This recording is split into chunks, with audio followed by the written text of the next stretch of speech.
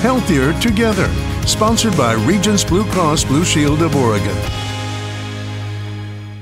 Alcohol affects uh, all of us, even those of us who don't drink, uh, because of the impact on our society. Um, and the, and the costs. Excessive alcohol use is the third leading cause of preventable deaths in Oregon. More than 2,000 Oregonians die each year from excessive alcohol use in the state. The Oregon Health Authority is asking you to rethink the drink. It's a new public health campaign to raise awareness about the negative impacts of drinking. In the first year of the COVID 19 pandemic, Oregon saw a 21% increase in deaths directly attributed to alcohol compared to the year before.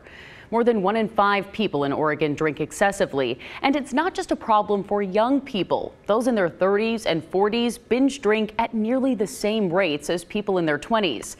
Rethink the Drink asks individuals to consider the role alcohol plays in their lives and community. For insight, I went to Deputy State Health Officer Dr. Tom Jeanne with the Oregon Health Authority and Executive Medical Director of Blue Cross Blue Shield of Oregon, Dr. James Polo. Alcohol over time wreaks havoc on the body, uh, increases blood pressure, uh, it affects many organs, of which the liver is the worst. Alcohol also increases your risk for many cancers. So over time, alcohol really can be very damaging to the body. Elevated health risks include prostate, breast, colon, and other cancers, cardiac conditions, depression, anxiety, and memory loss, and three types of liver disease. There's two types of drinking that we worry about. First of all, binge drinking, when people just drink a lot of alcohol in a very short period of time, or people that have heavy use where over time they're drinking more and more and more. So, what is considered heavy drinking?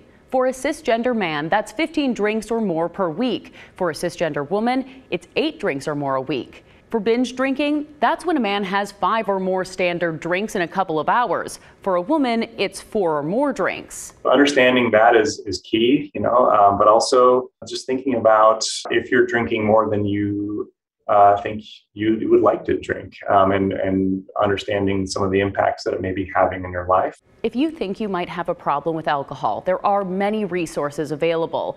The 988 Mental Health Crisis Line is always available 24 7. And for less urgent help, Dr. Polo says to start with your primary care doctor. Being honest, because there might be some other health considerations that are important to look at at the same time most doctors will be able to readily encourage individuals, explain what the, the concern about overuse might be, and then also provide resources. These experts remind us to look out for the people in our lives and to speak up if you notice someone is struggling. You have to approach folks with facts. Offer what you're observing. No judgment. Tell them why you're concerned make them aware of resources, show them that you care. I think it's trying to raise awareness. Um, uh, and it's also important to, to note that we're not telling people to stop drinking. Uh, we're just asking that they pause for a moment and, and think about the way um, alcohol uh, is prevalent in their own lives and communities. We'll bring you a Healthier Together every week here on KGW. You can catch up on past stories and find more information to get proactive about your health in the Healthier Together tab on KGW.com.